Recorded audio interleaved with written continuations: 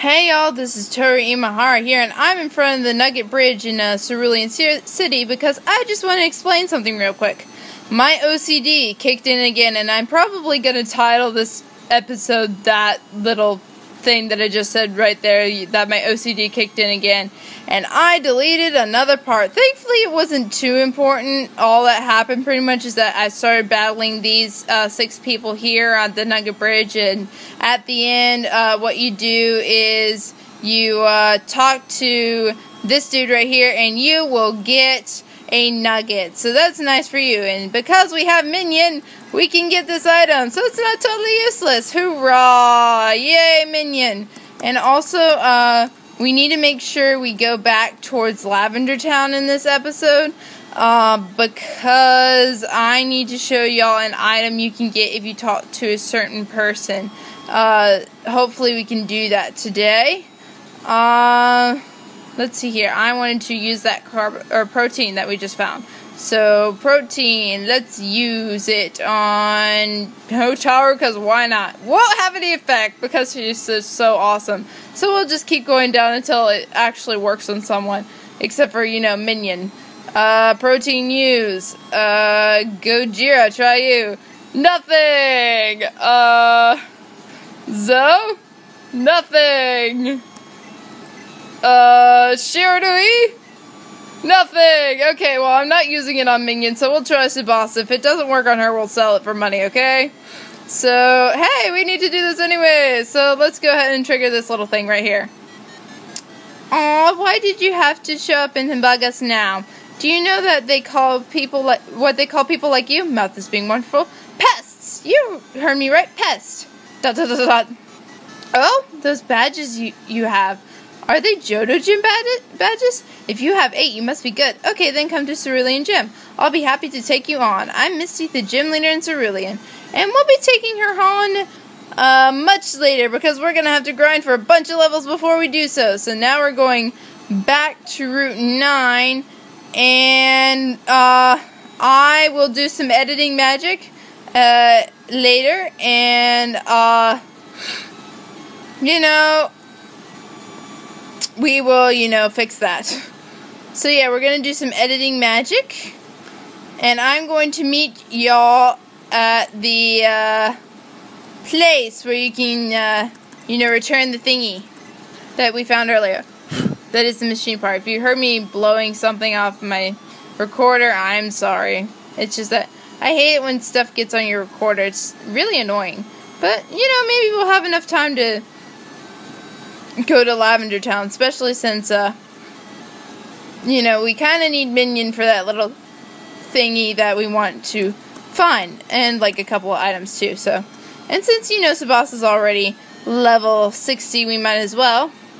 So we want to find one of our lovely super repels, even though we kind of wasted one earlier. Well, no, we didn't waste it. It was very useful. So now that we've done that, that will help us out. And finally. So now we are here, and this guy's going to give us a TM we can sell because Hotaru already knows it. Actually, you know what? I'm going to be really mean, and I'm going to teach this move to Siddhartha. That is going to be a great idea because I know that Siddhartha can learn this from a previous playthrough, uh, and my uh, Espeon had it. So yeah, although I didn't have an Espeon in my uh, original Crystal playthrough, I had a Ghost type. That's what I had. Because, you know, Ghost types are good. They're cool. Yes, we shall. We shall teach it to Siddhartha and get rid of lame, lame Morning Sun. Because, you know, we have hyper potions like crazy, so hoorah. Now Siddhartha is also spammable against water types. Woohoo! If Hotaru ever, ever, you know, doesn't work, we have a backup plan. Hoorah! He's also now super good against flying types. Yay! So, Super Repel still hasn't worn off yet, so let's just keep going here. And then I think in today's episode we shall also go back to Lavender Town, uh, get that item that we didn't get earlier since we didn't have Minion on us. And also we shall uh, show y'all another key item you might be interested in, just in case. Um, because of the fact that I think in the part that, you know, I OCDly deleted, uh, I showed y'all where that item was. So, I don't care about repels effect wearing off. I do love the fact that I can use cut. Because, yeah. I would say in the Johto region, you use cut more than you ever, ever do in the Kanto region. So, yeah. So now that the magnet train's back up, we're going to complete a little side quest and maybe go to Lavender Town later. I don't know, but hopefully... Actually, you know what? Let's do Lavender Town now. That sounds like a great idea since, you know, I want to get that item and make sure I show y'all where to get that key item in case you're interested in it. Because, you know, I want to make sure I get stuff. So Lavender Town is going to be this way, and we're going to go the fast way around. Whee! And I already took on all these optional trainers off screen. And hoorah! And the same for this area down here. So down here is Route 12, and Route 12 you can find some trainers. I already took on all the optional trainers you can find here off screen. So I did that, and I did get you, didn't I? Yes, I did. I did get you. Okay, so... Okay, here's the item you might be interested in. Uh, if you talk to this guy right here, he will give you a super rod. So that is the best rod you can find in the Pokemon world, alright? So you can catch the best kind of fish with it. So I just wanted to note that. And uh, as you can see, I got this guy too. And now we can get this item! Yes, we do, because Minion is wonderful. Oh, Minion, how we love you for learning Frustrating Cut. And we found a calcium. I believe this raises your speed. We'll save that and see if we can use that on Tsubasa. If not, then we'll use it on someone, I guarantee it. So, Route 13. Back to Route 13 already. Hmm, you know what? Let's backtrack. I'm sorry for all the backtracking, but I'm going to go back to Saffron City. I may or may not jump cut this, I don't know, but We'll see how much time we have left. We shall see indeed. We have about eight minutes left for recording. So, you know, I wanted to, you know, make those amends and say I apologize for my OCD once more. I have written a note to myself to no longer delete videos off of either my iMovie app or my photos area uh, until I'm absolutely sure that they are uploaded to my computer. So there you go. So yeah, part, I think it's 51 uh, or maybe 50 starts a little abruptly in the middle of a battle because of uh, stuff that happened earlier. So hopefully we can finally do this little side quest. Because we need to talk to her in order for it to happen.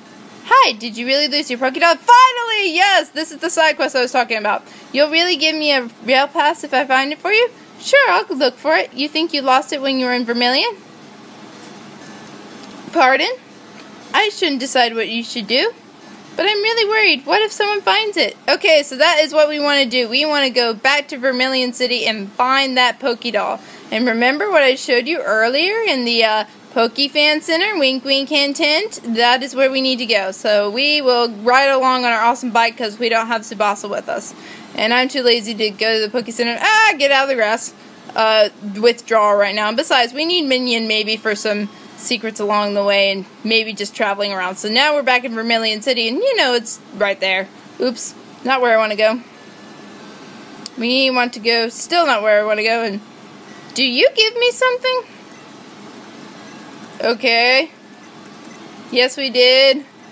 Sort of. I didn't go over the fishing guru, so I don't care about that. Just if you catch a really big Magikarp, the fishing guru will give you, I don't know, something something, something might be something you want to do, something you might not want to do. Now we finally can talk to this guy, say blah blah blah blah blah blah blah blah blah blah blah blah blah blah, and he found the Pokédoll, and apparently he thinks it's a real Clefairy, so yeah, he's kept it. I don't know what's going on, but yeah, apparently he might be schizophrenic or something. I don't know. But then again, I'm probably schizophrenic. I mean, look at uh, the fact that I've already lost two parts of crap. And I also accidentally went into the grass. I did not mean to do that, people. Hey, bite! We love you, bite very, very much. But we are going to run.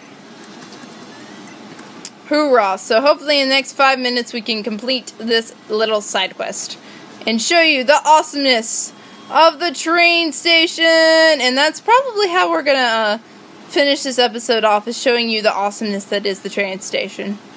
So finding the house, there's the house. So you go here, go in, go talk to her. She'll say, Yay, that's my Clefairy Poké Doll. See the tear where its right leg is sewn on? That's proof. Here, the the magnet train pass like we like she promised. Okay. So now we have that pass for it's for the magnet train. So blah blah blah. So apparently they tore their old house down for this station. Okay, well that's kind of I don't know weird I guess. But at least they gave him a new house. A lot of uh, governments just tear down the old house and don't care. So this is a wonderful magnet train station. All that side questing that we previously did was for this pure, pure, beautiful reason of this right here. You just take this train and voila, you are in Goldenrod City. So if you ever, ever for maybe like a trainer battle or something, or you want to like uh, buy something, you know, somewhere. Although you can probably find some stuff in Saru, uh, in some cities in Kanto, but yeah, if you ever ever need to go to the Johto region for any reason, this makes your life so much better. Woohoo! So look at that. We're already back in uh, the Johto region. So after doing that and showing you the awesomeness of the train once more and getting back to uh, Kanto region uh, and apologizing for my OCD, I think we might sign off. Plus, there's some other annotations we can make right here, right now. So, other annotations I can make right here, right now, besides apologizing for my OCD and showing you, you know, hey, this got lost because I spammed the delete button too much. Um, let's see here. I remembered later that, uh, I forgot to mention Greece when I said about historical things I like to learn about. Uh, Seismic Toss is like Nightshade, not Dream Eater. It does the same amount of damage as you are leveled. The item you can find uh, near Mahogany Town in that area where we found the rare candy and where you can find the Wednesday person, the dude will give you a black belt, which ups fighting type moves. Other things I learned from ChuggaConroy's Let's Play are the name of Proton, the, about the running shoes, and about uh, double battles. Um, Oh, and I, re- I found out later, uh, thanks to my friend, that Shuckle is a bug rock Pokemon. So it's not even a water type at all. I was completely wrong. So there you go, after making all those annotations and wonderful blabber. Uh, I think what I'm going to do is off screen, I'm going to go back to Vermilion City, take on those last two optional trainers you can find in the gym and I'll see y'all in the next part. Uh, and I think we'll start in uh, Saffron City. So I'll meet y'all here in uh, Saffron City, right in front of Mr. Psychic's house, who gave us Psychic, which you know we can sell for money. So I'll see y'all in Saffron City, in front of Mr. Psychic's house, and we'll just start from there and figure out where we want to go next. So I'll see y'all later. TTFN, Tata for now.